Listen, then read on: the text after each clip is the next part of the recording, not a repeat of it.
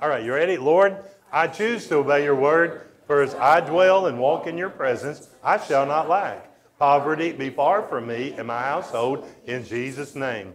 I will walk in your blessings, Lord. I will rise above all that hell has to offer and accept heaven's best here on earth. Everything I set my hands to will prosper because I make you my dwelling place. You are my refuge and my fortress. For your provision, I accept it by faith, fully expecting your blessings in every area of my life. For wherever your presence is, there is no lack. Therefore, Lord, as we receive today's offering, we are believing you for abundant harvest, health, jobs and better jobs, raises and bonuses, benefits, sales and commissions, favorable settlements, estates and inheritance, interest and income, rebates and returns, checks in the mail, gifts and surprises, scholarships and grants, inventions with royalties, finding money, bills paid off, bills decreased, blessings and increase, bargains, and child support. Thank you, Lord, for meeting all of our financial needs that we may have more than enough to give into the kingdom of God and promote the gospel of Jesus Christ. Hallelujah. Amen. I want to go back. I want to talk about relationship a little bit more, but I've had this thought on my mind all week, and it's about communication. And um, so I made a lot of notes today. I started to do our old time confession, you know, over class because I used to do it before we taught all the time. You know, what is this? This is my Bible. I am what it says I am. I have what it says I have. I can do what it says I can do.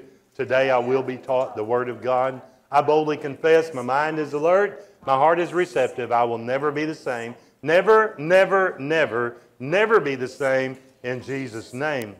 And uh, so I'm going to do a little teaching today with the sermon. Uh, give you some, if you don't have pen and paper, I've always encouraged people to bring pen and paper, take some notes. I, I love it when I can plant something in your mind and in your heart, but also love it when people take notes because you learn more when you take notes than you do any other way. I learned that when I was children's church director with kids, and you, you could break a lesson down.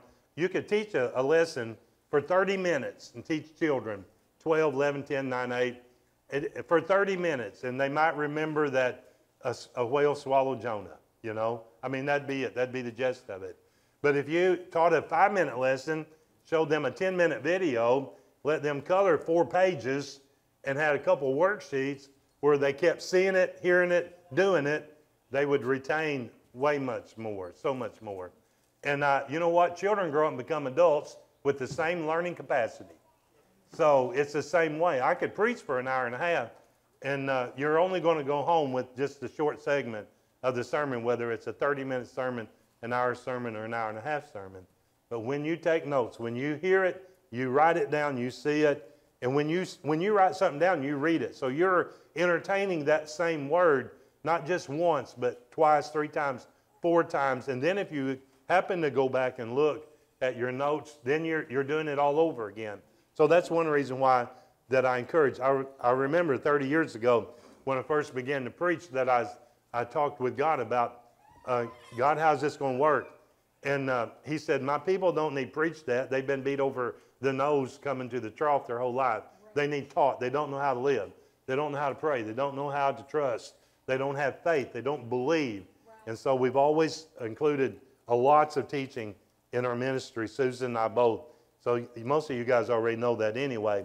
But, you know, and uh, um, there, I don't know how much this they got recorded, a lot of it probably. So there may be a lot of notes up on screen today. In James chapter 4, verse 2, it says, We have not because we ask, we ask not. Remember that scripture? Right.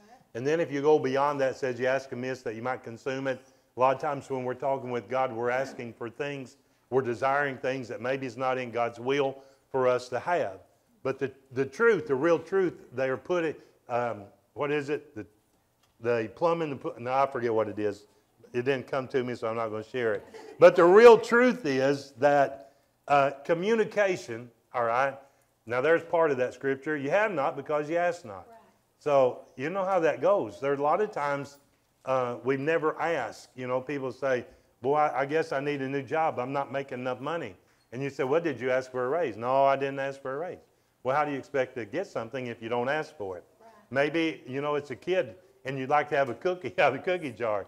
And, and you'll come there stealing it than you would asking for it. Oh. Anybody ever been there? Anybody ever stole something that you was afraid to ask for because you thought you would get a no answer? You know what? The devil planted that seed in us when we were young, and as we grew older, that seed matured and began to produce. And it got to where, even after we got saved, that we were still cautious when it come to asking for something because there was a fear element in there that said, well, you're not going to get it. And so, again, for years we've tried to teach you that God wants to bless you. God wants to answer your prayers. He said, You have not because you ask not. Ask. Okay? Ask and you shall receive. Matthew 7 7. We share that one a lot of times. Knock and it shall be open. Seek and you shall find. But see, the, the thing about relationship, we've talked a lot about that this year, is that relationship requires communication. Yes. People, you know, they'll say, How long you been married? And I say, oh, Well, almost 47 years. To the same woman? Yeah, to the same woman. How'd you do it? Well, we've always been able to communicate. Even when we were mad at each other, you might communicate on a higher level. You know, uh, you know what I'm saying? yeah, you might get louder with your words when you're angry, but still there was communication. When Susan and I got married, uh, Joe Williams, he said, he made this statement. He said, Don't ever go to bed mad. And what he was trying to say was, you need to talk your problems out before you sleep on it. Well, the truth is, I can go to sleep and I forgot what I was arguing about the day before, so it didn't work so good for me. But for most people, it works real good. And in most circumstances, it's way better to just go ahead and spit it out, get what needs to be said, said, whether you're talking to a person, whether you're talking to your dog you're trying to train, or especially if you're talking to God.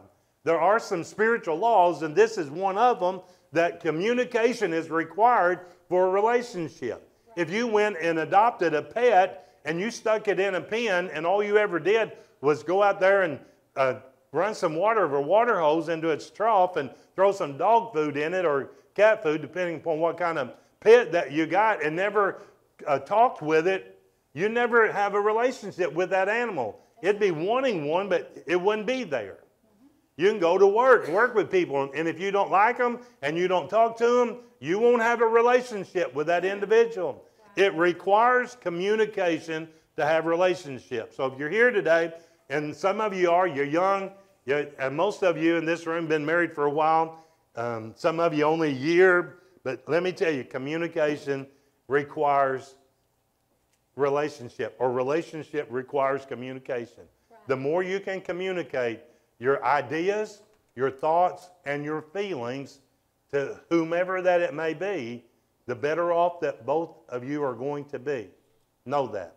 Now, communication means that somebody is speaking, somebody is hearing, and somebody is responding, and then there's normally a return cycle to that where somebody else re- who responded speaks, somebody else has got to listen, okay, and then there will be another response. It's, it, it's a cycle that just got to be completed speaking, hearing, responding. Now, you know, there are those that you can talk to and they got deaf ears and they don't pay any attention to you. And so instead of them responding, sometimes you will respond. Now, that's when we get into trouble. When we do the talking, then we do the responding without them doing their part. They've got it, people got to hear, and the ones that's here is the ones who need to respond.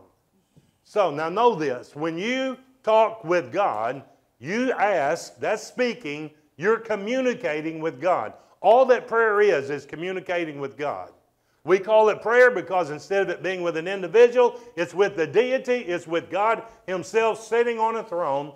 So anytime that we are speaking with words that come out of our mouth addressed to God, it's prayer, regardless of how that it comes out. Okay?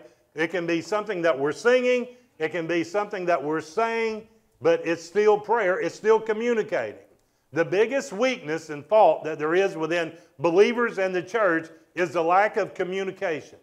We can preach on relationship, relationship. You got to have relationship. Are you in relationship? Do you know God? Does God know you? Yes, He does. But do you know God? Do you talk with God? Do you hear God? Do you respond to God?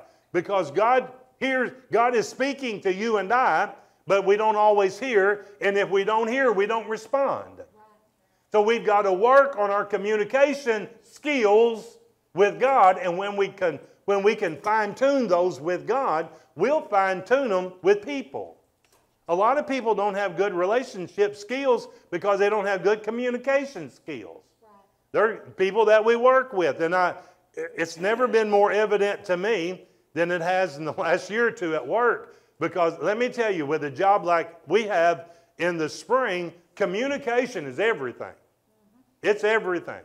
You get 17, 18 uh, men and trucks trying to dispatch them, going here and there, and nobody knows where they're going, and they don't know how to get there, and they don't know when they're going to show up, and you don't know.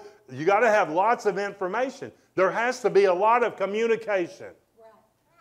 Now, there are different levels of communication, of course, and when I, I don't have time to preach all of this or teach all of it, but there's the words that we say. Sometimes it's the look that we give. I can communicate laughter just, all right, without saying a word. I can also communicate anger without saying a word. Can I not? Yes. So can you. See, there's, there's another level there. And don't forget, people are watching you. Not only are we, they listening to what we say, they're watching to what we're not saying, but the words are still there. Yes. And then, of course, there is written communication. Listen, uh, I know when Susan and I were dating, I wrote her lots of love letters. They were so sweet. I, am telling you, I was good at it too. I could have taught people how to write love letters to their girlfriend. I knew all the right words, didn't I? How did I get such a pretty woman? I knew how to communicate. Amen. And it developed a relationship, one that's now lasted for close to 50 years. My goodness. Wow, that makes me sound old, doesn't it? Yeah, it does. Well, that's because I am getting there.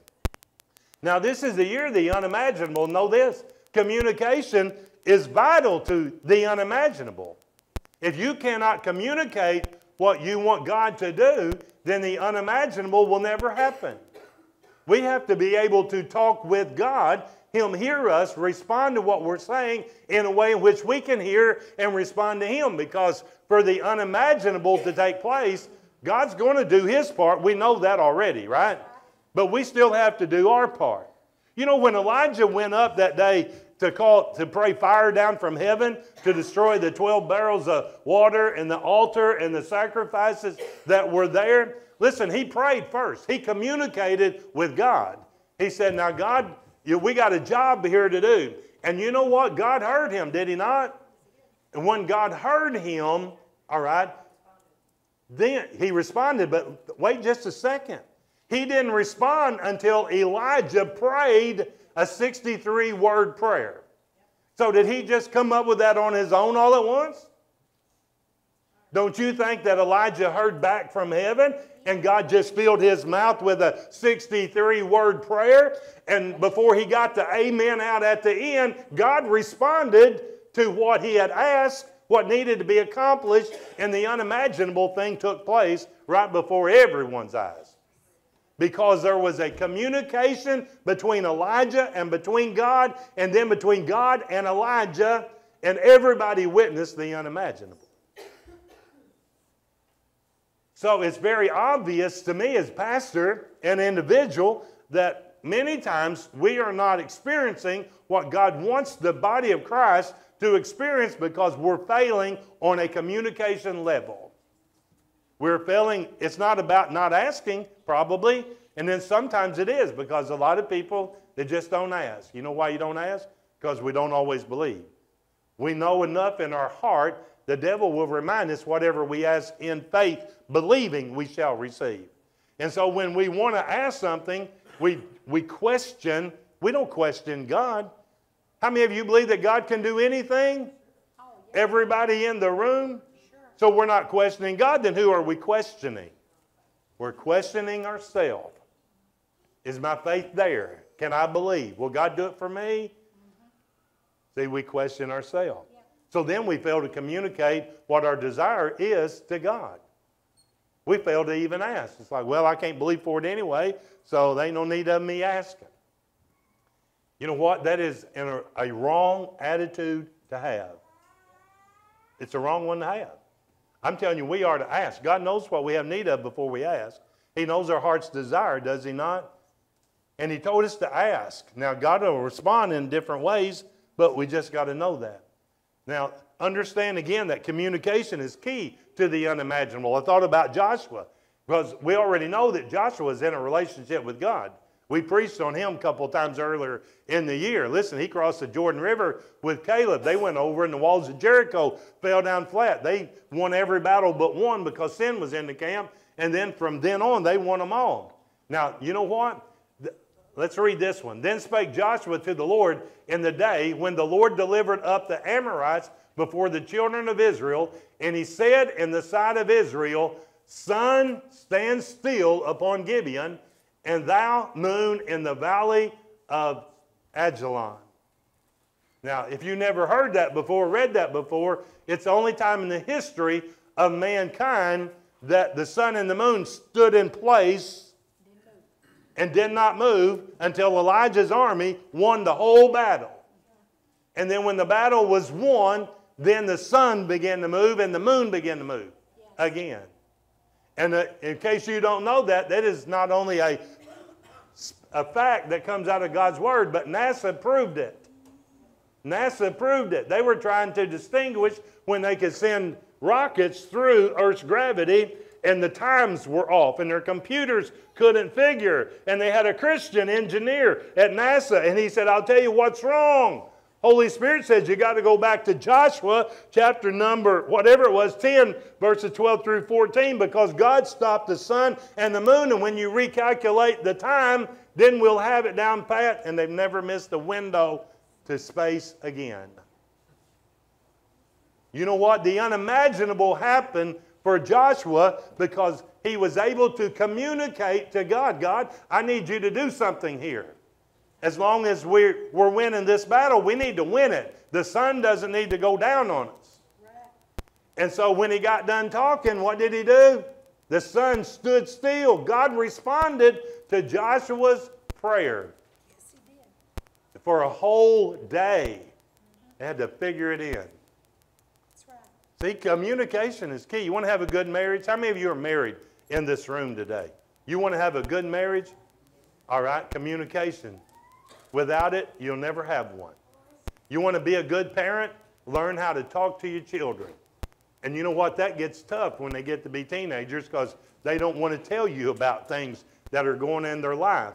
But when you establish a good relationship with your young people when they're 5, 6, 7, 8, 9, 10, 11, 12, when they're 14, 15, 16, and they're going through crises at school, crises with girlfriends, crisis with boyfriends, they'll know that they've got somebody they can come to and they can talk about anything and you won't laugh at them and you, you'll listen to them with your heart and you'll remember that you went through it when you were a teenager and you'll have compassion for your own because you're in relationship with your own and you'll love your child and your child will love you. And instead of having all that rebellion that can build up within them, it won't be there.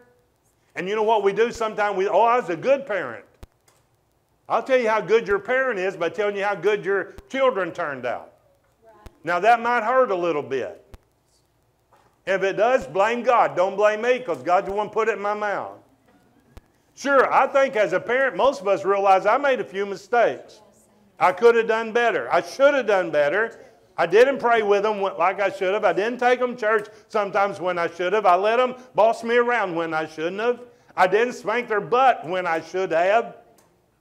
It didn't do any good, Spank Davis. We had come up with a whole alternative means for discipline. Poor Tori, we love you. Thank you for taking our son under your wing. Thank God. Amen. But when you're in relationship, you learn each other. And sometimes your kid knows you better than you know yourself.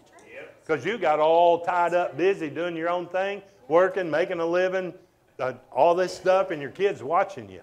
Yeah. And don't forget something. Your kids watching you right now. That's right. And they watch you when the preacher's preaching, and they watch you when the choir's singing, That's and right. they watch you when you come to church, and they watch you when you leave church. Yep. If you don't think they won't do what you do later on, then you're probably going to yeah. probably going to miss it. Yep. Joshua spoke, God heard, and God responded. That's the way you communicate. Anybody need a miracle in their life? Sure. We all do. We all need miracles. It'll be a miracle for us to get some of our people saved that need to be saved. It's, it looks like it's going to require something beyond the norm in the world that we've got into now, this day and time in which we're living. And here's something that I, I know, uh, I've always known. When communication fails, nothing works well. Things begin to go haywire. And you know what? We've, we've heard this our whole life. Susan and I share it all the time. But Proverbs 18:21 says that life and death is in the power of the tongue. You guys know that, right? Life and death the power of the tongue. So how can I produce life? I do it with my tongue. See, the power of the tongue is the ability to communicate. The power is in the words that the mouth speaks. So the better that I am able to communicate what needs to be said, the better that life's going to go for me and for every, everything else, everybody else. That's why we study learn to learn the word so we know what to say and how to say it, when to say it, where to say it, when to pray it, when not to pray it, when not to say it. We speak life into a relationship when we communicate well. And you know what? If you don't communicate well within the relationship, you're speaking death to it. Wonder how many marriages have been dissolved in our lifetime because the man and the woman did not communicate together. They did not speak life over each other. They did not pray life over each other. They did not ask God how to handle the situations that they were into. When I marry couples, I tell them, if you'll put God in this marriage, it cannot fail because God cannot fail. If you leave God out of this marriage, it's destined to fail. Right. Now that can be harsh words to young people that's just fixing to get married. How can they how can they stand without God in this society today? Very few are going to make it without God. You know why? Because it's hard to make it with God because people have not been taught how to communicate to one another, to speak softly, soft words turns away wrath. They don't know how to say I'm sorry. They don't know how to repent for being mean or being evil, to do good things, say good things, sow good seed, produce life within a relationship. My parents didn't know how to do it. I'm the odd child, I'm telling you. My wife, she can tell you, my family, I, I was the hugger, I was the kisser, and I was the one who said, I love you. Can I remember my dad or mom ever telling me that they love me? Not till I started it. And when I'd say, I love you, they'd say, I love you too, son. I taught my parents how to communicate love back to me. And in so doing, I taught them how to communicate love back to my siblings. And my siblings didn't know how to handle it hardly. It's like we knew it, but we never heard them say it. Listen, there's life is in the saying of the words. It produces life, not death. People don't wonder, they don't question. Did my parents really love me or not? They never told me they love me. Sometimes they acted like it, sometimes they acted like they didn't. I'm, I don't know how you grew up, I know how I grew up. And I knew that in our family, we did not communicate well, and I've watched it in the lives of many other people. The, dad didn't know how to communicate to the mom, the mom to the dad, but you know what? They had something. They would not divorce because they was taught right and not wrong. Right. They lived good lives, moral lives, but they still could not communicate well together. It's harder now than it's ever been. It's more vital now than it ever was. You can speak life into any relationship that you have because you have the power of words at your disposal. And in the multitude of what? Words. Okay? There's either much sin or there's much love in a multitude of words. Solomon said in one place, said, Show me somebody that talks a lot, I'll show you somebody that sins a lot. That's right. And that happens a lot of cases. A lot of cases. Right. But when we learn how to control our words and we speak life and we it'll produce life. And you know what? When there's no communication, you know what happens in a in a ditch that has no outlet? Susan taught on the Dead Sea the other day, other night. Some of you weren't here, missed it Wednesday night. The Dead Sea is dead. How come? It doesn't. Communicate. It stagnates in the Dead Sea and everything dies because it comes in and it stops. It's not communicating. The Jordan River feeds it. It has an outlet. The Jordan River feeds into the Dead Sea. It comes in out of the mountains over there. It's got life in it. It's communicating what it receives and, and responding by putting it out. We come to church to learn so that we can go back out on the street and share what we learned and live it in our life. Communicate what we hear. We read and study God's Word so we can communicate what we hear. And when we communicate what we hear, we're building relationships with people, Right, all the while building a better relationship with God. right. For the most part, most Christians have a better relationship with somebody than they do with the Father. And that's, that's not right. But when we can have a relationship with Father like we're supposed to have, listen, good things are going to happen. Right. All right? So if we fail to sow, it's because we failed to speak. Failing to speak is failing to sow. It's failing. Remember, you sow failure by failing to speak. Easier if I read it off that page than this one. That one's plain. This one ain't. You sow failure by failing to speak. You can't have a harvest unless you sow something good. So if I'm not putting good seed out, if I'm not putting no seed out, then probably nothing is going to happen. I thought about, all week I thought about Sarah and Hagar. How many of you knows Hagar's story? I think Susan needs to preach that probably this summer when she goes to Poplar Bluff. You know that Hagar was Sarah's handmaid. Abraham didn't have a seed. So Sarah gets it within herself. I'll just give my handmaid to Abraham to be his wife as well, and she can bear him a son. Did she talk with God about it? Was that in God's plan? No, God had a plan. So when Sarah got old enough to have children at 90, okay, and she was going to have a son, this is about 14 years prior to that. She ain't old enough yet. She's only 76 at the time, I believe. So Hagar gets pregnant, and then Sarah gets mad. And she's mean to her, and she runs off. Hagar leaves. She, she escapes. She's out of her own country. She has nowhere to go. She's pregnant. She's alone out in this wilderness, and God comes to her. And Hagar and God communicated together. She listened. He, she prayed. She cried in the wilderness. God heard her. He said, What are you crying about, Hagar? Yep. She told him what was going on. He already knew it. He said, You go back. Yes. You go back. You're going to have a son. I'm going to make of that son Abraham's seed by the handmaid, a great nation. Listen, this world has been troubled ever since. The Arab nation was born out of Hagar's seed, Ishmael, against the Jewish nation. Yep. And we have wars that take place ever since because of it. Yep.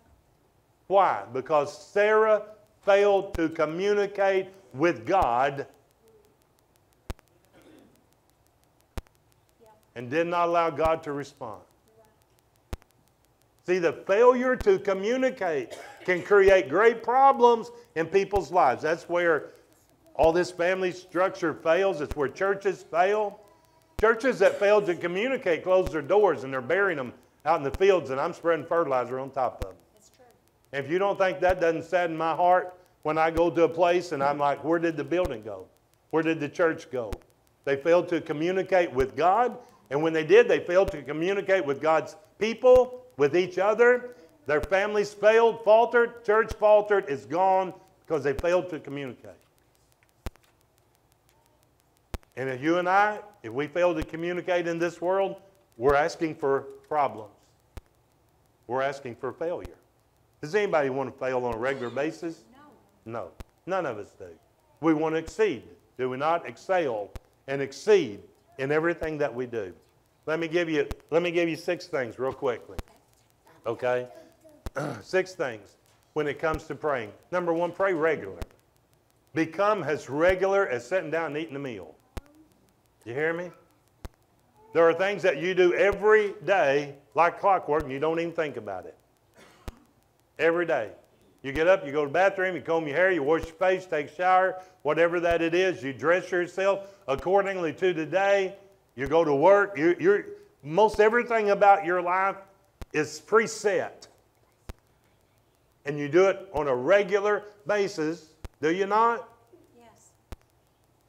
Do you know that maybe number one priority for all of us should be I need to set some goals with my prayer life so that I communicate with God on a regular basis? You hear me? Yes. It's a goal because most people don't do it. We do it when we feel bad. We do it when we think about it. We do it when something's going on. We do it when somebody says, You need to pray for me. We do it when we're prodded, poked, and pushed into it. But it needs to be as regular as anything else that we do. This is who we are. This is what I do. Okay? You know, if somebody said, well, What do you do in life, Brother Dale? Well, you know, I, I take care of the house. I take care of the, I work for MFA. Uh, I eat three meals plus snacks every day, right? Amen. I pray regularly. Do you ever tell somebody, oh, I, I don't spend a day without praying? I don't spend a day without praying. It ought to be as regular as sleeping. I don't spend a night without sleeping. Let me tell you, when nighttime comes, I'm going to go sleep. When morning comes, I'm going to pray. How about that? Because I'm going to make it regular. I'm going to get so used to doing it that I do it on a regular basis. Amen? You know that Daniel did it how, how many times? Three times a day. Oh, Daniel prayed morning, noon, and night. When they threatened to throw him in the lion's den, what did he do? He prayed anyway, turned his face to the eastern wall. They standing outside watching him, seeing what old Daniel's going to do. Old Daniel said, Hey, listen, I serve a God who's able. I know a God who can. I know a God who does the unimaginable. I know a God who can deliver me from a lion's mouth. I'm going to pray. It's what I do, it's who I am. See, that's the way we are to be. This is who I am. This is what I do. You can't keep me from praying. I wasn't very old when they took prayer out of school, but I was smart enough to know that you cannot keep somebody from praying in school. And they can't keep you from praying at work. And they can't keep you.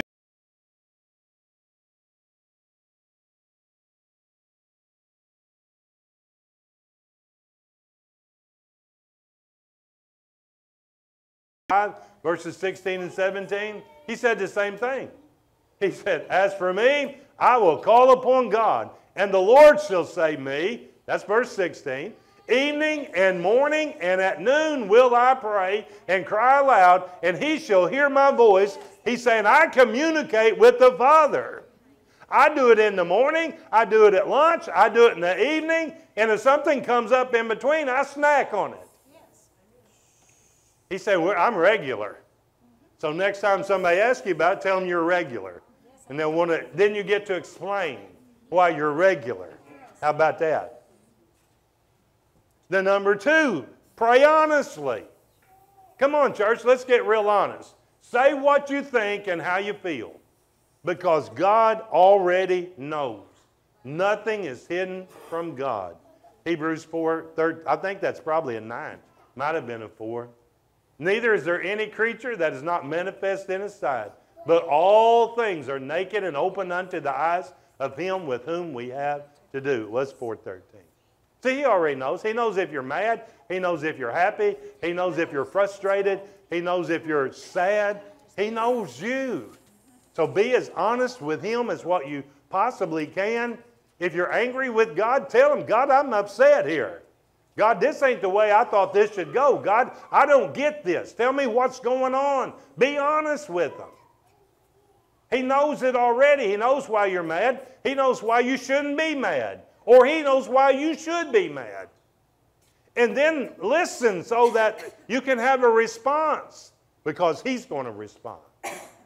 When you're happy, pray. When you're sad, pray. When you're distraught, pray.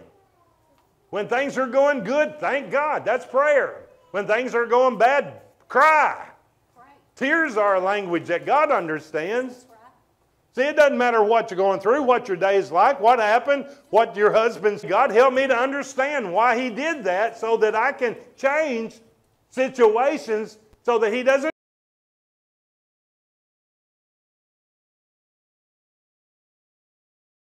do that anymore.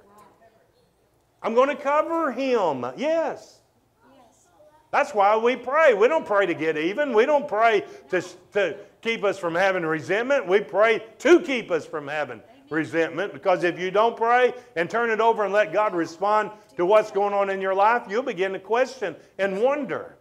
You'll question God, wonder why God allowed that to happen. Things are going to happen we don't understand. Know that. Things happen all the time. Why did that young man die in that car wreck? Well, we don't understand exactly why. But we do know that wasn't God.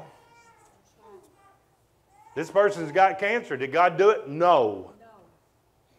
That young man that hung himself a few years ago when I preached his funeral had every reason in the world to live. Why did it happen? Because the devil got in his head. That's right. That's why it happened. I know why that one happened. He didn't know how to communicate his feelings to God. How many people do we know today who do not know how to communicate their feelings, their true feelings, to God or to someone else? Right. There's people who can't even talk to their spouses because they can't communicate their true feelings. So then they can't work out a problem. Can't be honest? just talk. Okay. That's right. Oh, that's what I just said, wasn't it? Pray honestly. Yeah. How can a husband pray for his wife if she can't communicate her feelings? Because women are more emotional than men, right? Oh, yeah. But you know what? Men are worse than the woman. Men have a harder time communicating their feelings to their wife than what the wife does to the husband. We do. Just take it like a man. It's the truth. That means don't cry in front of them, right? But you know what? You need to cry in front of them. If that's what you're feeling, don't close up. Don't clam up. Don't hide out. Don't push away. Communicate. If you can't say what needs to be said, just hold somebody and let them, let them work it out. Nothing's hidden with God, and nothing needs to be hidden unless God says to hide it. Nothing. The third thing the Bible teaches us is to pray fervently. That's in James 5:16. The fervent, effectual prayer of a righteous man healeth, availeth much. Fervent. That means to, uh, what's important to you means that it's important to pray about it. And it's important to pray according to how important that it is. You know what I'm saying? If you, sometimes you got to get serious with prayer. Okay? If we if people hadn't got serious with prayer, communicating with God on a deeper level, Sister Duranda might not be with us today. That's right. That's right. Yep. She tied in. And you know what? The sad thing is, there's no telling how many people in this world are not with us today because people didn't know how to get fervent in prayer and communicate from deep. Deep should be crying out to deep when it's a deep mess that somebody's in, whether it's us or somebody else. When I was down and out, there was a lot of fervent prayer that was prayed for Brother Dale. A lots of it. If there hadn't been, if people hadn't taken it seriously, then I might not have been with you today to tell you to pray fervently. Know it. There's some things that are more important than other things. Some things require more than what other things require. Sometimes you can just pass through something pretty quickly. God, I need you to help me take care of this. God, I'm trusting you with it. I believe that it's under control. And sometimes that might be good enough. If it satisfies your soul, it's probably good enough. But if you carry that from the altar where you prayed with you, you better keep on praying. And you better get real with that prayer. Sister Susan talked something about that Wednesday night. About, huh, did you not? Number four is to pray constantly. Constantly. That means I'm in communication with the Father as much as possible. 1 Thessalonians 5 17, Paul said to pray without ceasing. Now, somebody says, that, How can I do that? Listen, when, when you're aware of God's presence and the fact that Holy Spirit indwells your heart, you can live a life of prayer. You can be in the business of communicating with your Father. You know, if you let's say it was my dad was still here and we were working on that building together, all right?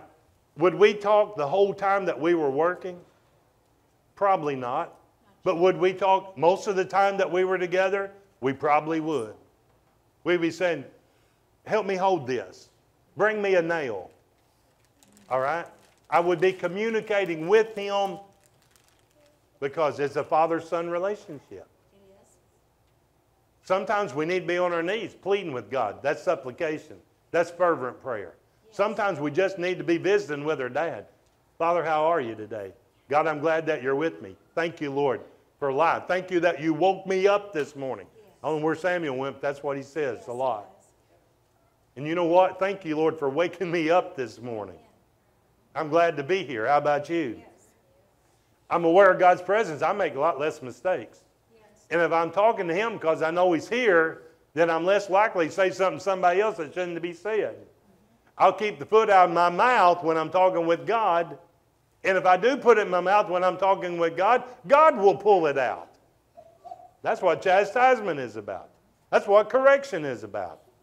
If we never communicate with God, we don't get chastised. We don't get corrected.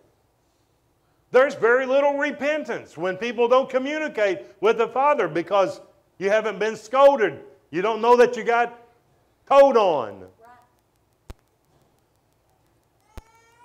And basically, the church needs to repent because we've not communicated with our Father through prayer in a fashion that pleases Him. And I'm not going to say anything about how your prayer life sucks today. Good. And it's pathetic. That's for another sermon that was preached a long time ago. Because we haven't improved much over time. How many times during a week do we think, well, I should have prayed about that? I wish I'd talked with God about that. I bet God would have helped me there. Hmm, we do that a lot. Pray constantly. Number five, pray persistently. I'm telling you, don't quit until the answer comes. Now, in Luke chapter 18, there's eight verses over there that talks about this little women woman. And, it's, and listen, men ought always to pray and not to faint because there was this widow woman who was being mistreated. And she went to the judge, and the judge could care less. He didn't fear God, and he didn't care what happened to that widow woman. You know what she did? She kept going back. She get in his face every day. Say, what are you going to do about it, Judge? Come on, what are you going to do about it? What are you going to do about it? What are you going to do about it? I need some relief. I need some help. You need to do something. And after a few days, he got tired of hearing her, looking at her face, being troubled. And you know what he did? He responded finally. She communicated unto him until he said, I've got to do something here because she ain't never going to leave me alone. You know what? Sometimes God just wants to see if you're willing to stand up to the test that you're under so that your faith can grow, so that you can believe God, so that God can work for you the way that He wants to. Sometimes we got to be persistent because another sermon, sometimes God answers yes, and sometimes He says no, and sometimes He says not yet. And when we pray persistently, He's not saying yes and He's not saying no, He's saying not yet. So keep praying. And sometimes when you keep praying, your prayer changes so that it fits into His will instead of your will. Because a lot of times we pray ways and things that we didn't need to pray for. We didn't pray it in a way that God could respond. Sure, we want the Blues to win the Stanley Cup, do we not? But do you know that God's not going to change that? No matter how much we pray. And the Cardinals win the World Series again. We want that. Can we pray for them to win? We can pray all you want to, but God's going to say the best team's going to win. Because somebody's neutralizing your prayer. They're praying for their team to win. So I don't care how persistent you are there, God's going to show you that you can't pray that way. So then He'll tell you, we'll pray that the players will do their best.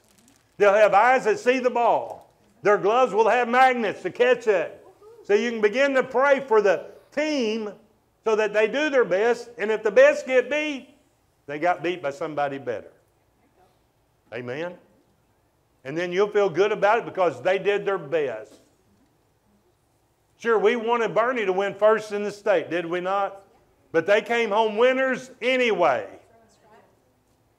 Because they did their best. On that day, they got beat by a better team by a couple points. They did their best. Don't quit. God's not into quitters. You hear me, guys? Don't quit. Keep believing God. You keep praying. God will respond to you. Have ears to hear, and let God work on your behalf. Right. And then I'll tell you, well, there's one more I'll share today. Pray specifically. Learn how to pray specifically. 1 Samuel 1, chapter 27, Hannah was, she wanted a child. And she said, For this child I prayed, and the Lord hath given me my petition, which I ask of him. You know what she asked God for? She said, I want a son. She didn't say, I want a dog. She didn't say, I want a kid. She didn't say, I want a girl. She said, I want a son. She asked God specifically for what she wanted. God didn't give her something else. God gave her exactly what she wanted. See, we pray specifically. If I don't know how to do that, then let God teach me. God, how do I pray? God, what's best in this situation? God, how do I need to frame these words? Closer we get in relationship with God, the better we learn how to pray. And Holy Spirit will begin to put the words in our mouth when we pray. He'll fine tune a prayer when you're trusting Him and you're in relationship with Him. God will. When you pray for a raise and you get a nickel, are you going to complain? Most people say, oh, I got a nickel. Well, what did you ask for? Ask for a raise. A nickel was a raise. There you go. Yeah, exactly. If you think you're worth a dollar more, say, God, I think I'm worth a dollar. And if God says, son, you're worth 50 cents, then pray for 50 cents. Right. You hear me? And you know what God will do? God will respond. God loves it when we pray specifically. That's why the more that we learn how to pray, the better prayers that we become, and the more answered prayers we receive, the more that we have. And there ain't nothing better than answered prayer. I'm telling you, nothing better. Praise reports, testimonies, witness to the world. Look what God has done. Who but God can do such things as these? But God cannot do these things until God's people communicate with Him through prayer. Amen. All right, listen up, children. As you approach each day your battles, don't let your hearts faint. Fear not, do not tremble, neither be afraid. For the Lord our God is He that goes with us to fight for us against all of our enemies to keep us safe. And now the Lord bless you and keep you. The Lord makes His face to shine upon you and is gracious to you. The Lord lifts up His countenance upon you and gives you His peace. Amen.